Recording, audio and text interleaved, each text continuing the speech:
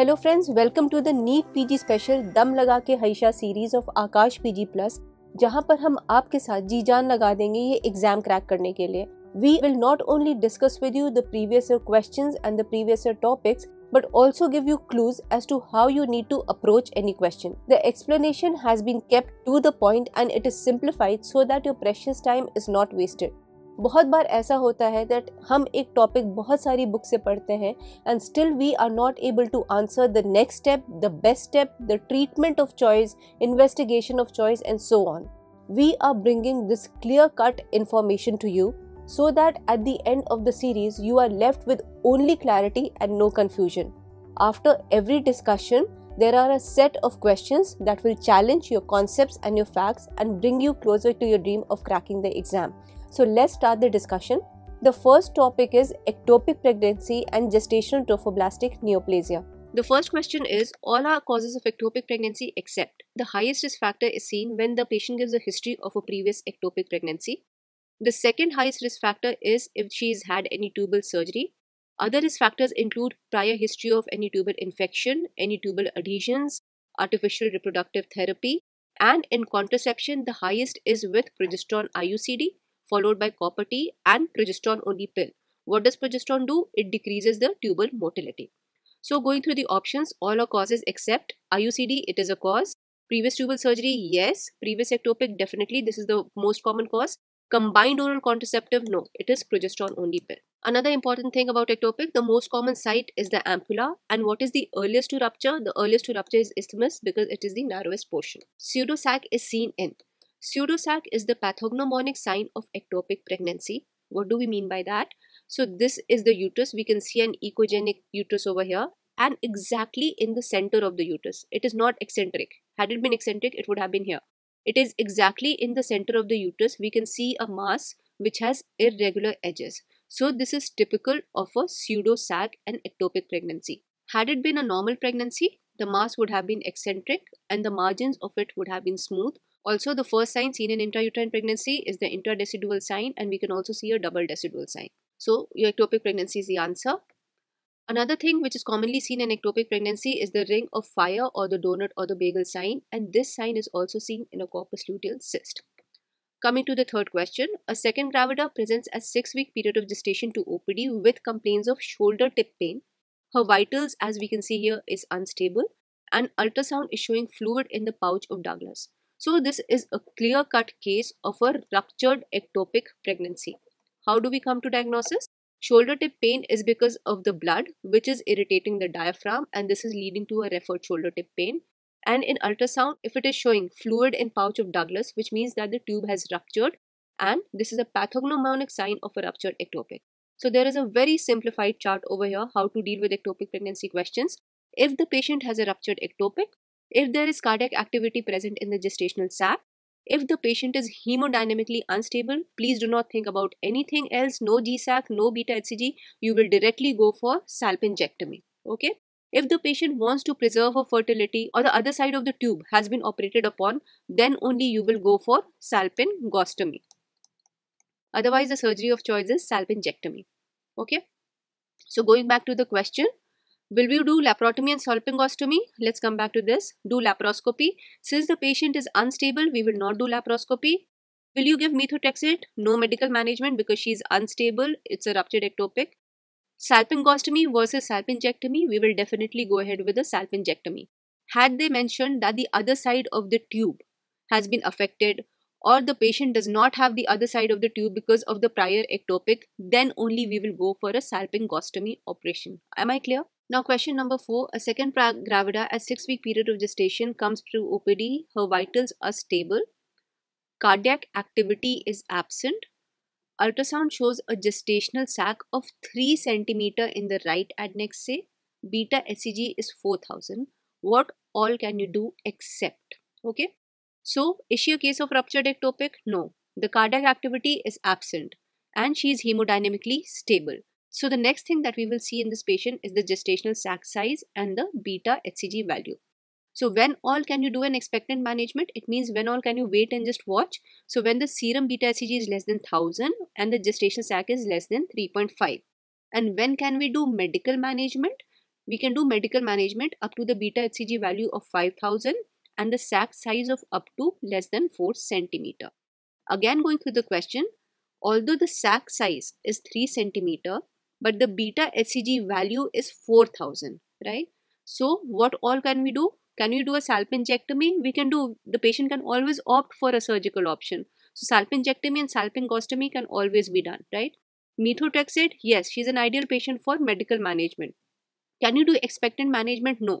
Because although the sac size is less than 3.5, but the beta HCG is 4000. And what is the limit for expectant management? 1000. So therefore, the answer of choice is expectant management. Now, few points about methotrexate.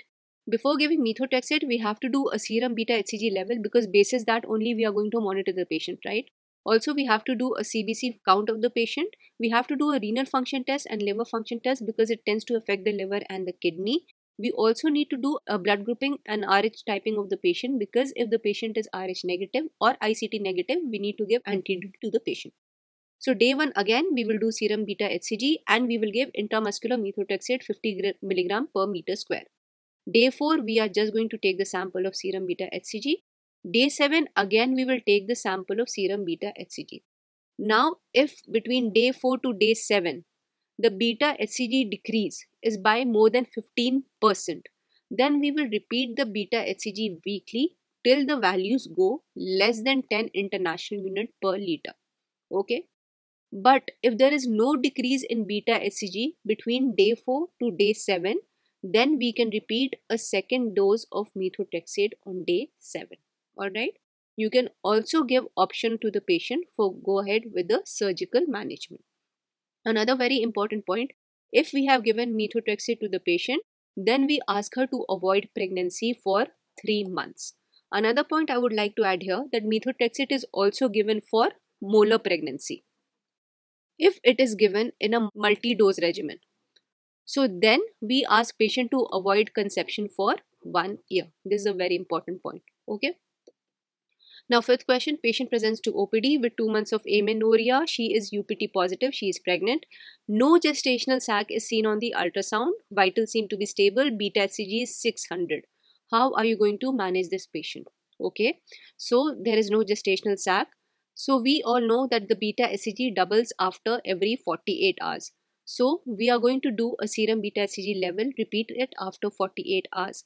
Now, there can be three scenarios. Okay, if it is falling by more than 15% the baseline level and the second day level then it is it can be then the likely cause can be abortion and for how long do we need to monitor the patient we will do weekly serum beta hcg levels till the value go less than 10 international unit per liter okay the second is if the beta hcg is doubling has doubled between day 0 and day 2 by more than 66%, then most likely it's an intrauterine pregnancy.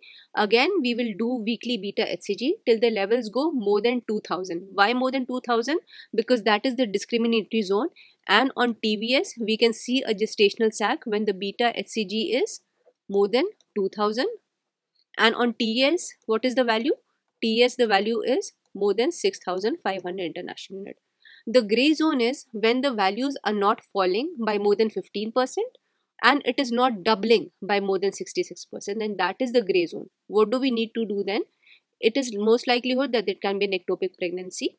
So we will so we will monitor the serum beta HCG till it reaches 2000 international unit or it has it can also happen that it has plateaued. So if there are three plateau levels, if there are three plateau levels or it has reached more than 2000 then we will repeat a TVS if it is still negative, then we will go ahead with methotrexate. So coming back to the question, repeat ultrasound after 48 hours? No. Give methotrexate? Not right now.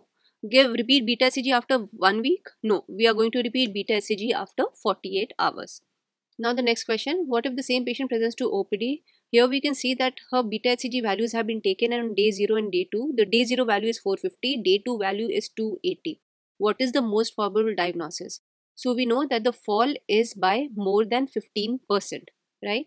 So what can be the most likely diagnosis? It's an abortion or a failing pregnancy. So this is your answer.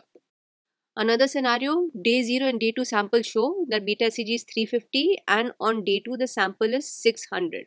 So how are you going to manage her? we can see that the beta HCG has doubled by more than 66%. So what are you going to do? It is most likely an intrauterine pregnancy and we will continue monitoring beta HCG weekly till it reaches 2000, right? So going through the options, we will repeat beta HCG weekly till it is more than 2000. Next question, an 8-week second gravida with previous LSCS presented with spotting per vagina. Transvaginal sonography showed cesarean scar pregnancy. What is the best management? Before going through the option, let's see what is cesarean scar pregnancy. So here what is happening that the ectopic is forming on the previous scar. This is the uterus. This is the bladder which is filled with urine. Here is the previous scar. We can see this is the previous scar and the pregnancy is lying on the scar. So the most common symptom of this is that the patient will have painless vaginal bleeding. It is a very life-threatening condition. The complications include uterine rupture, there can be massive hemorrhage, there can be preterm labor, placental complications and it has very high maternal mortality rate. So what is the investigation of choice? Investigation of choice is transvaginal sonography and color Doppler where we can see a lot of vascularity along the previous scar site. What is the management? Best management is laparotomy with excision of the gestational sac. Also, if the cardiac activity is present, then we can give intramuscular or intragestational methotrexate. So going through the options, give methotrexate orally, no. Give intragestational sac methotrexate, yes, it can be given. Confirm diagnosis by MRI. Now, TVS is the investigation of choice followed by color Doppler. Just in case if it is inconclusive of both of these, then only we will go for MRI. If it has been confirmed by TVS, no need to go with this. Alright. Excise the GSAC by laparotomy. This versus this, we will always prefer option number C. What is the investigation of previous scar site ectopic? It is color Doppler. What is the criteria for diagnosing abdominal pregnancy? This is a very often asked question. So it is the Studdiford criteria. You just need to mug up this table. For abdominal, it is the Studdiford criteria. For the cervical pregnancy, it is the Rubin's criteria. And for the ovarian pregnancy, it is the Spiegelberg criteria. A 30 year old female presents with 10 weeks history of amenorrhea, pain in abdomen. Ultrasound shows the following picture. So, what is it? This is a typical snowstorm appearance. Okay. So, this is a snowstorm appearance and this is seen in hydatidiform mole. Now, the next question a 25 year old woman. Remember, this is 25. She's had evacuation of molar pregnancy. So, the previous pregnancy was molar she is now complaining of breathlessness, cough, bleeding, which means there has been metastasis. Chest x-ray is also showing cannonball metastasis. So this has gone to the lung. Beta HCG level is 10 raised to power 3. Now they have been asking a lot of questions around the FIGO classification of gestation trophoblastic neoplasia. Score is given from 0 to 4. 8 factors are assessed and the mnemonic of which is SAM is bad. Okay. So S is your largest tumor size. A is your age in years. Then M is metastasis site and metastasis number. After that, I is interval months from the end of the index pregnancy to the start of the treatment. B is your beta HCG value. A is what was the antecedent pregnancy? Was it a mono pregnancy, abortion or previous live birth? Highest risk is when the patient had a previous live birth. And after that, the last is previous failed chemotherapy, if it was a single drug or if it was a multiple drug okay. If the figo classification score is less than 6 we will give patient injection methotrexate alternating with folinic acid for 1 week. After that a 1 week rest and we will do this till 6 weeks post normalization of beta hcg if the figo classification risk is more than 7 then we will put the patient on EMA-CO regimen. What is the maximum risk of gestational trophoblastic neoplasia in case of prior so the maximum risk of gestational trophoblastic, we can see that if she had a previous live birth and after that she has been diagnosed of gestational trophoblastic neoplasia, it carries the highest risk and a previous molar pregnancy carries the lowest risk. Okay. So the answer here will be a previous term pregnancy. All are true about complete mole except. Okay. So first of all, what is gestational trophoblastic disease? It comprises of hydatidiform moles which can be complete or partial, invasive mole choriocarcinoma or placental site trophoblastic tumor. Now, what is gestational trophoblastic neoplasia? When after the treatment of gestational trophoblastic disease, beta HCG continues to be high or it plateaus. Okay. Now comparing complete and partial mole. So complete mole is diploid, partial mole is diploid. There are increased chances of carcinomatous changes in the complete mole. There are lesser chances of carcinomatous changes in the partial mole. Also, the fetal tissue is going to be absent in a complete mole. However, some tissue can be present in a partial mole. P57 immunostaining will be positive in partial mole whereas negative in the complete mole. Okay. So, what is true except it is diploid, it has high risk of GTN, fetal tissue is absent. Okay. What is the best management for molar pregnancy? The best management is ultrasound guided suction and evacuation because the uterus is extremely friable and if it is not done under ultrasound guidance then the uterus can get perforated with the suction tube. Use of prostaglandins is not recommended for cervical ripening because it can lead to embolization of the trophoblastic cells. Therefore, it is contraindicated. About oxytocins, generally it is avoided.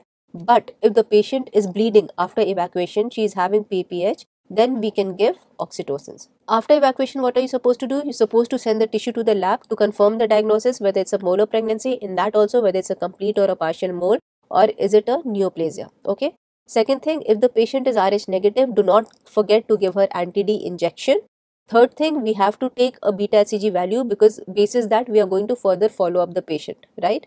If the patient complains of bleeding continuously after MTP, it means there can be two things retained product or it is a gestational trophoblastic neoplasia. So we have to repeat beta HCG values and we have to do a TVS scan. Now post evacuation surveillance by beta HCG is very important. If it is a complete mole, we will repeat beta HCG testing every two weekly. Now everywhere we do beta HCG testing two weekly. Okay. And we will do this for 56 days. If after 56 days we see that the beta HCG has normalized, then we will do it every two weekly for further 6 months. If beta HCG has not normalized by 56 days, we will repeat it every two weekly till 6 months post normalization of beta HCG. Okay. For partial mole, it is simple. Beta HCG is done every two weekly till two samples come negative 4 weeks apart. So this brings to the end of our discussion. Next week, we'll be discussing gestational diabetes mellitus and hypertension in pregnancy, so be prepared.